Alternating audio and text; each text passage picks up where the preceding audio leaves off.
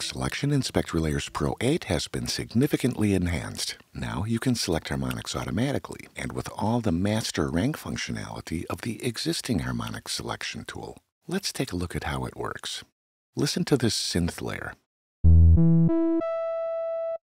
Up here in the Tools panel, I'm choosing the Frequency Selection tool. I'm also increasing the pixel thickness by one pixel. Here I'm selecting the fundamental frequency of the first note.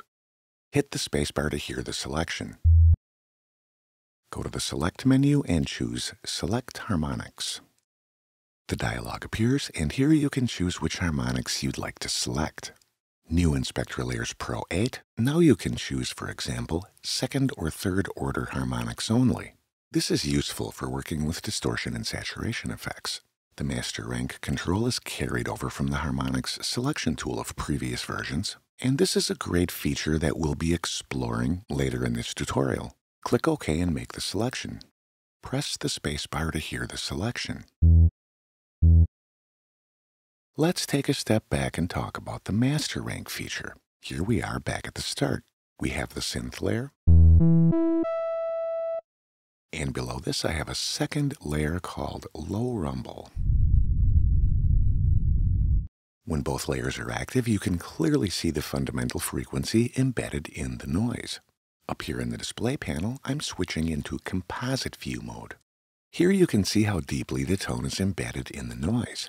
This is where the master rank control becomes useful. Okay, I have merged the two layers together to create a use case. Let's make a selection. Here I'm selecting the seventh harmonic. It lies mostly outside the noise field, so I have a relatively clear shot at selecting it. In the Select Harmonics dialog, I'm choosing a master rank of 7, which corresponds with the 7th harmonic I selected. Now when I click OK, you can see that the resulting selection reaches both above and below the 7th harmonic, all the way down to the fundamental, which is buried in noise. Let's listen to all 10 harmonics. And here I'm using the rectangular selection tool in subtract from selection mode to remove the top five harmonics. We can addition the bottom five in isolation, the ones embedded in the noise. Now I'm using the same tool to subtract every remaining harmonic except for the fundamental. Let's listen to that in isolation. Great, we dug it out of the noise.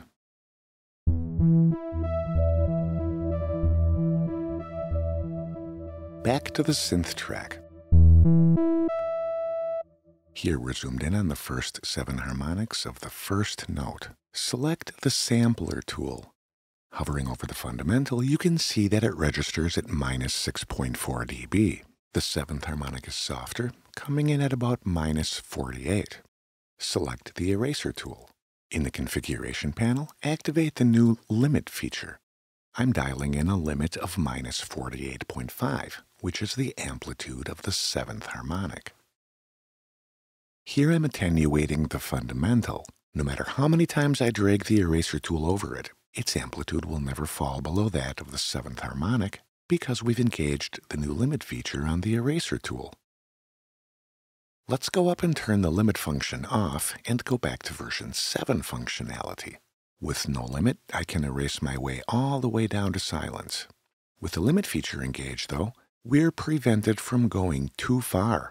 And not only that, we can choose amplitude points on the spectral graph that define precisely targeted limits.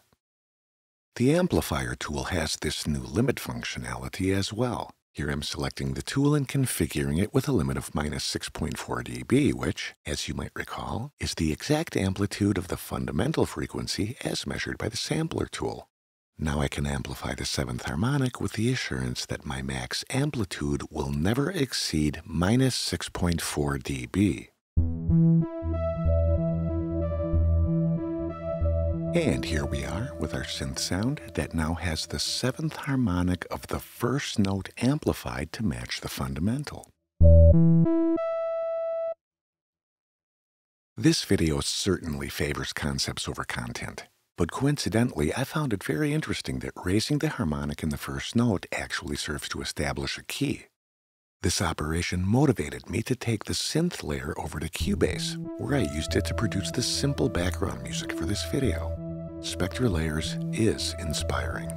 Speaking of key and pitch, here's another new SpectraLayers feature, musical pitch shifting. Go to the Tools panel and select the Transform tool. Switch from percentage to the music note. Here I'm using the Time Range tool to select the last of the four notes. And here comes a two semitone downward shift.